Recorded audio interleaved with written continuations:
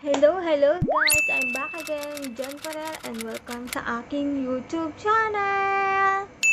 So, for today's video, gusto kong itry itong Pants Pure White Mineral Clay Mask. So, ayan siya, and then, gusto ko na siyang itry kasi sobrang stress na itsura ko ngayon. So, kailangan natin magpa-stress. Ganong tingnan nyo naman ang itsura ko ngayon. Actually, kakatapos ko lang maligo.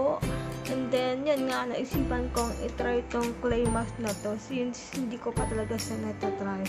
So, ayan siya. Eh, mabibili mo to sa Watson ng hindi lalagpas ng 50 pesos and makakapag-detox and treatment ka na. So, try natin kung okay ba siya.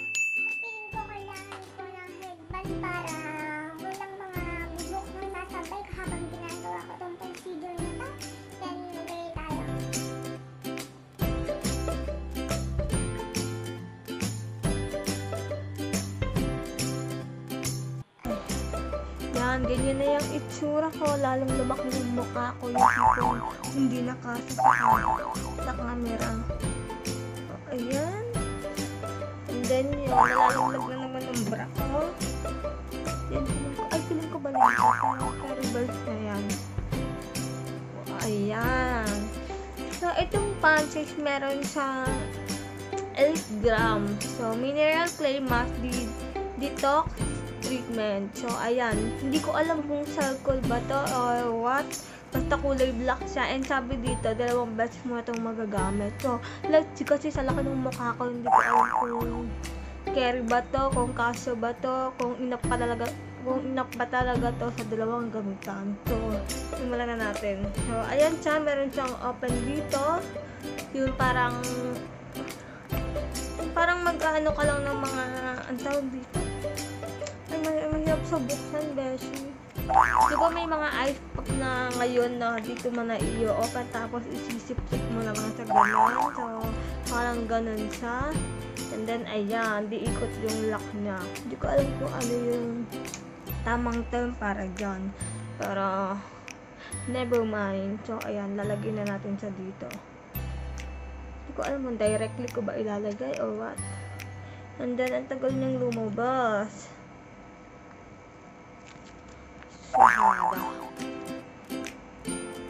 Sa mga nagtataka pala kung bakit ako nakakapag-Watson haul, eh, wala naman ako sa Pilipinas. Actually, galing kasi ako sa bakasyon and then, yun, bumili-bili na ako sa Watson and then dito ko na lang hinol. Kasi, wala rin akong time makapag, ano, makapag, makapag-vlog dun sa Pilipinas kasi sobrang busy ko talaga. So, ayan siya. And sobrang dali lang niyang spread sa mukha. Hindi siya malagkit or what. And sobrang bango na. May kaamoy siya. Hindi ko alam kung ano. Ayan. Kailangan ko magpa-press kasi medyo ako, medyo umutim ako ng konti sa Pilipinas. Then, napansin ko na medyo naputi naman na ako ng konti. Ayan siya. Oh.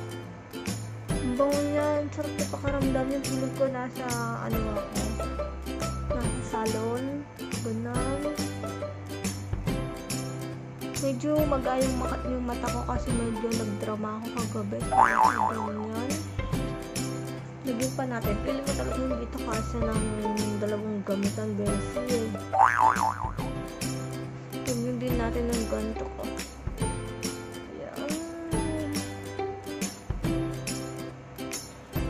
Ko, hindi naman tag-init sa Pilipinas ngayon. Pero last month, nakita ko umitim talaga ako ng konti. Hindi naman ako nakaputian, pero napansin ko na umupo na, umitim ako ng very very light. Kaya, todo skin care tayo mga beshi.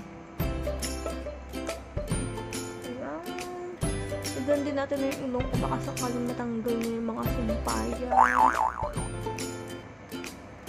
Actually, nakagawa na ako ng ng video about dun sa I, I White Korea na pampatanggal ng blackhead. Kasi nga lang, nabura ko yung, yung clip kaya hindi ko na na-i-upload. Ang bango niya, Bessie. Excited din akong gamitin yung pink. Nakakabuti, nakakaputi ba to? Ganyan. Then sa bandang noo kasi dyan yung part na marami akong tigidig. Yan, ditong part, ang dami kong pimples, di ko alam kung bakit. Siguro dahil dito yung pawisan o dyan yung malapit sa buhok. Kasi ang buhok isa yung part na katawan natin na madumi. So kailangan dapat nilalabas. Kaya humahaba yung buhok natin eh. Kasi ayun yung pinakamaduming part ng ating katawan. Ayan siya. And hindi ko na binasa yung instruction. Talagay muna tayo, then sa kanila natin basahin. Dagdagan pa natin dito sa may eyeball. Malapit na sa maubo. Sabi ko sa inyo, hindi sa kasi ng dalawang gamitan. Ko alam kung charcoal ba to or ano. Ayan. Hindi ko hindi ko alam kung babaldawan ba or pupunasan lang ng tissue. And hindi pa ako nakapanood ng kahit anong review about dito. Ayun yung pimple ko, hindi ko alam kung pimples yan, pero ilang taon na yun nandiyan, hindi na siya nawala, hindi ko alam. Buti pa friend niya ako kalang iwan. Hingot mga besi. Wala pa pala sa dito part. So, feeling ko ako na yun kasi maubos ko na ito. Ito pang...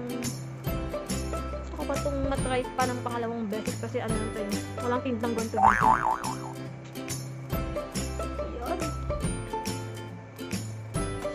Kong basahin yung instruction nga para maliwanagan tayo.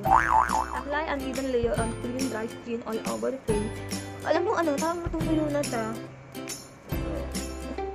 Parang ano, parang walang something sa mukha ko. Yung parang naglagay lang ako ng BB cream ng foundation, ganun. Avoid eyes and lips. Leave on for 10, 10 minutes. It will not it will not dry completely. Rinse off with lukewarm water. Use at least once a week. With pants white beauty mineral clay mask foam for best result. So ayun, ililib natin sa ililib natin siya ng 10 minutes. So feeling ko ito yun naman na siya. And then wait lang, gawa lang ako ng thumbnail.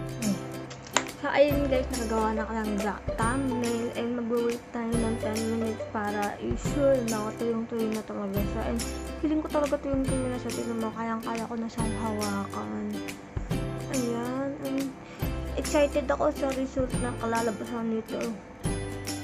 Ayan. Parang alam mo yun, parang nagpa-facial na ako. Tapos ang bango-bango niya. Arte.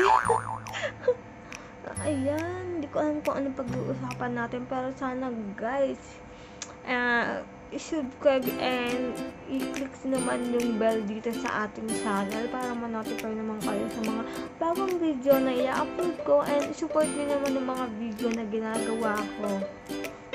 Ayan. Ano, maganda yung mata ko. Dahil sa kaartihan.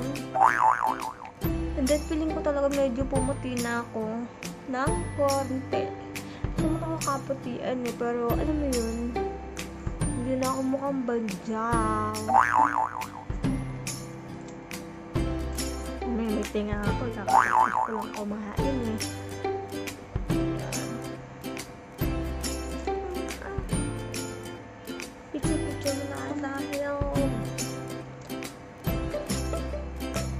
Nagbabalik ako ang feeling ko more than 10 minutes nang nakababad tong clay mask sa mukha ko kasi ang dami ko ng episode ng tulpo ang napanood ko. So, kaway-kaway kayo dyan sa mga addict sa tulpo, di ba? So, ayan. So, feeling ko kailangan na natin siyang manlawan. Pupa mo. So, ayan guys, babalikan ko kayo after ko mabanlawan tong clay mask na nasa mukha ko. So, see you! I'm back and nabanlawan ko na yung face ko ng maligam-gam na tubig and sobrang linis na ng face ko ngayon na the fact na parang detox talaga na parang nagpa-facial ako. So, ayun ang pinalabasan ng aking face and sobrang nagustuhan ko ang product na to and feeling ko uulitin ko sa ulit and gagamutin ko sa ulit. And kung gusto nyo i-try, comment down below kung ano yung mga gusto nyong ma-achieve or kung na-try nyo na, please i-comment nyo kung maganda ba siya. So, dito na nagtatapos ang ating video and don't forget to like and subscribe my channel and i-click nyo ang bell notification para ma-notify kayo pag may mga bago akong video. See you on my next, next video. Bye!